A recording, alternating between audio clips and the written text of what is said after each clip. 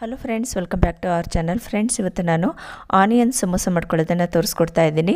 ಒಂದೇ spoon ಆಯಿಲ್ನ use ಮಾಡಿಕೊಂಡು ಯಾವ ರೀತಿ ಸಮೋಸ ಮಾಡ್ಕೊಳ್ಳೋದು ಅಂತ ತೋರಿಸ್ತಾ ಇದ್ದೀನಿ. ತುಂಬ ಕ್ರಿಸ್ಪಿಯಾಗಿರುತ್ತೆ ಹತ್ತೇ ನಿಮಿಷದಲ್ಲಿ ರೆಡಿಯಾಗುತ್ತೆ ಇದಕ್ಕೆ ಯಾವುದೇ ಥರ ಎಣ್ಣೆ ಹಾಕದೆ, ಎಣ್ಣೆಯಲ್ಲಿ ಕರಿದೇ ಮಾಡ್ಕೋಬೋದು. ತುಂಬ ಟೇಸ್ಟಿಯಾಗಿರುತ್ತೆ ಇದನ್ನು ಮಾಡ್ಕೊಳೋದಕ್ಕೆ ನಾವು ಓವನು ಸಹ ಉಪಯೋಗಿಸೋದೇನು ಬೇಡ. ಡೈರೆಕ್ಟಾಗಿ ಬಾಳೆಯಲ್ಲೇ ಮಾಡ್ಕೋಬೋದು. ನಾವಿಲ್ಲಿ ಮೈದಾ ಹಿಟ್ಟು ತೊಗೊಂಡಿದ್ದೀನಿ. ಗೋಧಿ ಹಿಟ್ಟು ಬೇಕಂದರೆ ಗೋಧಿ ಹಿಟ್ಟನ್ನು ಮಿಕ್ಸ್ ಮಾಡ್ಕೋಬೋದು.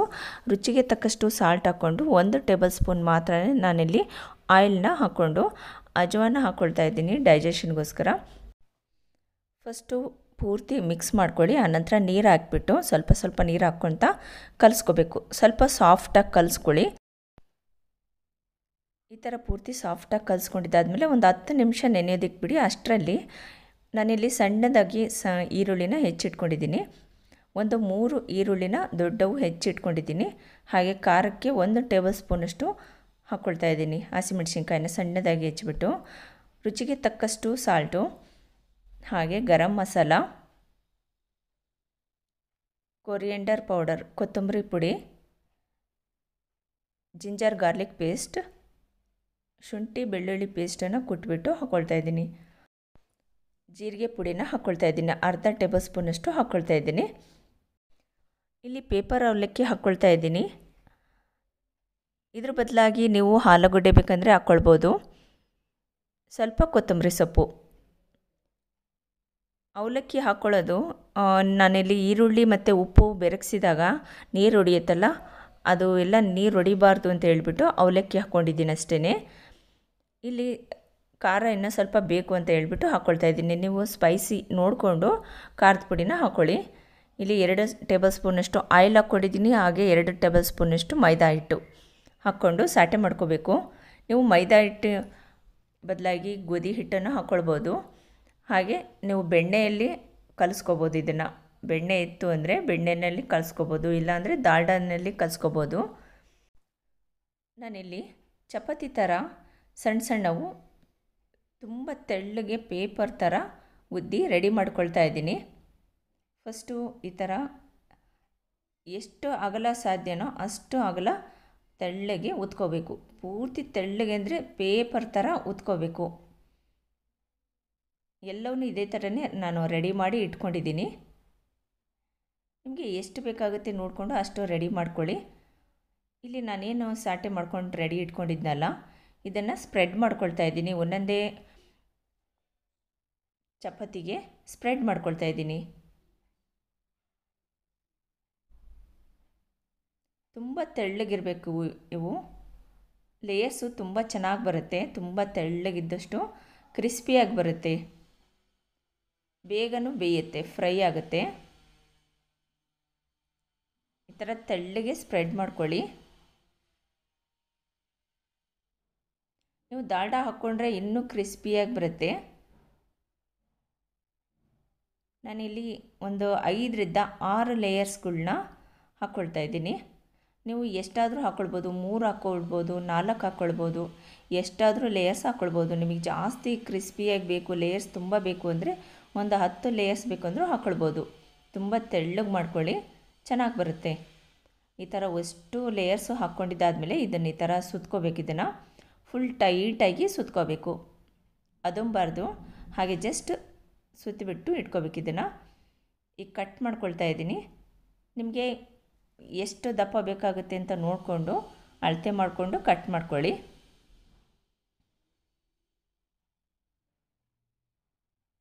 ಈ ಥರ ಕಟ್ ಮಾಡ್ಕೊಂಡಿರ್ತೀವಲ್ಲ, ಇದನ್ನು ಹಾಗೆಯೇ ಈ ಥರ ಸ್ಟ್ರೈಟಾಗಿ ಇಟ್ಕೊಂಡು ಜಸ್ಟ್ ಈ ಥರ ಪ್ರೆಸ್ ಮಾಡ್ಕೋಬೇಕಷ್ಟೇ ನೋಡಿ, ಈ ಥರ ಲೇಯರ್ಸ್ ಇರಬೇಕು.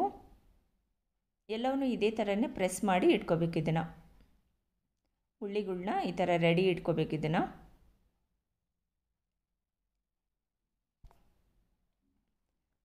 ಜಸ್ಟ್ ಸ್ವಲ್ಪ ಹಪ್ಪಳದ ಸೈಜಿನಷ್ಟು ನಾನಿಲ್ಲಿ ಊದ್ಕೊಳ್ತಾ ಇದ್ದೀನಿ. ಅದಕ್ಕೂ ಸಣ್ಣ ಸಣ್ಣವನ್ನೇ ಊದ್ಕೋಬೇಕು ಪೂರ್ತಿ ತೆಳ್ಳಗೆ ಊದ್ಕೋಬಾರ್ದು ಸ್ವಲ್ಪ ಲೈಟಾಗಿ ದಪ್ಪ ಇರಬೇಕು.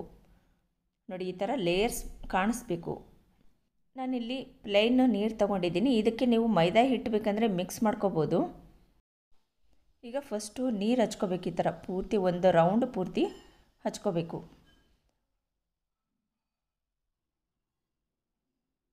ನೆಕ್ಸ್ಟ್ ಇಲ್ಲಿ ನಾನು ಮಸಾಲೆ ರೆಡಿ ಇಟ್ಕೊಂಡಿದ್ನಲ್ಲ, ಇದರೊಳಗಡೆ ಫಿಲ್ ಮಾಡ್ಕೊಳ್ಳೋಣ. ಒಂದು ಎರಡರಿಂದ ಮೂರು ಟೇಬಲ್ ಸ್ಪೂನಷ್ಟು ಇಡಿಸುತ್ತೆ. ನೀವು ಆಲೂಗಡ್ಡೆದು ಬೇಕಂದರೆ ಸಪ್ರೇಟಾಗಿ ಮಾಡ್ಕೋಬೋದು. ಈ ಥರ ಒಂದು ಅರ್ಧ ಈ ಥರ ಪ್ರೆಸ್ ಮಾಡ್ಕೊಳ್ಳಿ. ನೋಡಿ, ಅರ್ಧ ತನ ಇಲ್ಲೇ ತನಕ ಪ್ರೆಸ್ ಮಾಡ್ಕೊಳ್ಳಿ. ನೆಕ್ಸ್ಟ್ ಈ ಥರ ಇಟ್ಕೊಂಡು ಟ್ರ್ಯಾಂಗಲ್ ಶೇಪಲ್ಲಿ ಬರಬೇಕು. ಈ ಥರ ಪ್ರೆಸ್ ಮಾಡ್ಕೋಬೇಕು ಇದನ್ನು. ಫುಲ್ ಟೈಟಾಗಿ ಅದಮ್ಕೊಳ್ಳಿ. ಓಪನ್ ಆಗಬಾರ್ದಿದು. ನೆಕ್ಸ್ಟ್ ಇಲ್ಲಿ ನೀರು ಹಚ್ಚಿಬಿಟ್ಟು ಒಂದು ಸೈಡು ಫೋಲ್ಡ್ ಮಾಡ್ಕೋಬೇಕು ಇದನ್ನು. ನಾವು ಬಾಳಿಲಿ ಹಚ್ಚಬೇಕಲ್ಲ ಹಾಗಾಗಿ ಒಂದು ಸೈಡ್ ಕ್ಲೀನಾಗಿ ಫೋಲ್ಡ್ ಮಾಡ್ಕೋಬೇಕು ಇದನ್ನು ನೋಡಿ, ಈ ಥರ ಲೇಯರ್ಸ್ ಲೇಯರ್ಸು ಬರೋ ಥರ ಉತ್ಕೊಂಡು ಈ ಥರ ಟ್ರ್ಯಾಂಗಲ್ ಶೇಪಲ್ಲಿ ಸಮೋಸ ಥರ ನಾವು ರೆಡಿ ಮಾಡ್ಕೋಬೇಕು. ಎಲ್ಲವೂ ಇದೇ ಥರನೇ ನಾನು ರೆಡಿ ಮಾಡ್ಕೊಳ್ತೀನಿ. ಫ್ರೆಂಡ್ಸ್ ನಿಮಗೆ ಈ ರೆಸಿಪಿ ಇಷ್ಟ ಆಗಿದೆ ಅಂತ ಅಂದ್ಕೊಂಡಿದ್ದೀನಿ ಲೈಕ್ ಮಾಡಿ ಶೇರ್ ಮಾಡಿ. ಹಾಗೆ ನಿಮ್ಮ ಫ್ರೆಂಡ್ಸಿಗೆಲ್ಲರಿಗೂ ಸಾಧ್ಯವಾದಷ್ಟು ಶೇರ್ ಮಾಡಿ. ಸಬ್ಸ್ಕ್ರೈಬ್ ಆಗಿಲ್ಲ ಅಂದರೆ ಈಗಲೇ ಸಬ್ಸ್ಕ್ರೈಬ್ ಮಾಡ್ಕೊಳ್ಳಿ. ಇದೇ ಥರ ಹೊಸ ಹೊಸ ಅಡುಗೆಗಳನ್ನ ತೋರಿಸ್ತಾ ಇರ್ತೀನಿ. ನಾವು ಓವನ್ ಯೂಸ್ ಮಾಡದೇ ಇದ್ರೂ ಇದೇ ಥರ ಹೊಸ ಹೊಸ ರೆಸಿಪೀಸ್ಗಳನ್ನ ಮಾಡ್ಕೋಬೋದು. ತುಂಬ ಈಸಿಯಾಗಿ ಮಾಡ್ಕೋಬೋದು. ನಾನಿಲ್ಲಿ ದಪ್ಪ ತಳ ಇರ್ತಕ್ಕಂಥ ಬಾಳಿನ ಯೂಸ್ ಮಾಡ್ಕೊಳ್ತಾ ಇದ್ದೀನಿ. ಎಷ್ಟು ಸಾಧ್ಯನೋ ಅಷ್ಟು ದಪ್ಪ ಪಾತ್ರೆಯನ್ನು ತೊಗೋಬೇಕು. ಇಲ್ಲಿ ನೀರು ಹಚ್ಕೊಂಡು, ಒಂದು ಸೈಡ್ ಮಾತ್ರ ನಾನಿಲ್ಲಿ ನೀರು ಹಚ್ಕೊಂಡು ಬಾಳಿನ ಸ್ವಲ್ಪ ಲೈಟಾಗಿ ಬಿಸಿ ಮಾಡ್ಕೊಳ್ಳಿ. ನಾವು ಈ ಥರ ಇಡ್ತಿದ್ದಂಕಲ್ಲೇ ಅಂಟ್ಕೊಂಡ್ಬಿಡುತ್ತೆ. ತಣ್ಣಗಿದ್ರೆ ಅದು ಅಂಟ್ಕೊಳಲ್ಲ, ಜಾರ್ ಜಾರ್ ಬರ್ತಾ ಇರುತ್ತೆ. ಸ್ವಲ್ಪ ಬಿಸಿ ಮಾಡಿಕೊಂಡು ಬೇಗ ಬೇಗ ಅಂಟ್ಕೊಂಡ್ಬಿಡುತ್ತೆ. ಐದು ನಿಮಿಷ ಈ ಥರ ಇಟ್ಕೊಂಬಿಟ್ರೆ ಸಾಕು, ಅಂಟ್ಕೊಂಡ್ಬಿಡುತ್ತೆ ಆ ಬಿಸಿಗೆ.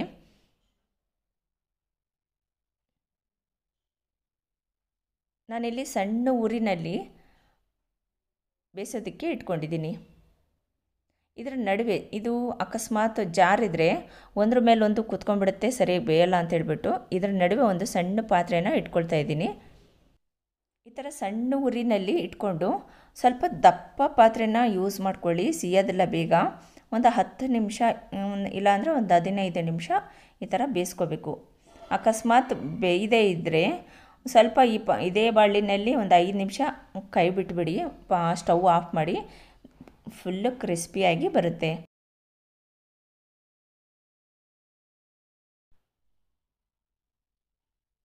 ನೋಡಿ, ತುಂಬ ಲೇಯರ್ಸ್ ಲೇಯರ್ಸ್ ಕಾಣಿಸ್ತಾ ಇದೆಯಲ್ಲ? ಇದೇ ಥರ ನಾವು ರೆಡಿ ಮಾಡ್ಕೋಬೇಕು. ನೀವು ಆಯಿಲಲ್ಲಿ ಫ್ರೈ ಮಾಡ್ಕೊಳ್ಳೋದಕ್ಕಿಂತ ಒಂದು ಸಾರಿ ಈ ಥರ ಟ್ರೈ ಮಾಡಿ ನೋಡಿ. ಆಯಿಲ್ ಫ್ರೀ ಇದು. ಎಲ್ಲರಿಗೂ ತುಂಬ ಇಷ್ಟ ಆಗುತ್ತೆ ಅಂತ ಅಂದ್ಕೊಂಡಿದ್ದೀನಿ ನೋಡಿ ಓಪನ್ ಮಾಡಿ ತೋರಿಸ್ತಾ ಇದ್ದೀನಿ ತುಂಬ ಸಾಫ್ಟಾಗಿ ಬೆಂದಿರುತ್ತೆ. ಹಾಗೆ ಕ್ರಿಸ್ಪಿಯಾಗಿ ಇರುತ್ತೆ ಮೇಲ್ಗಡೆ. ನೋಡಿ ತುಂಬ ಲೇಯರ್ಸ್ ಕಾಣಿಸ್ತಾ ಇದೆಯಲ್ಲ? ಲೈಕ್ ಮಾಡಿ ಶೇರ್ ಮಾಡಿ ಹಾಗೆ ಕಮೆಂಟ್ಸ್ ಮಾಡಿ. Thank you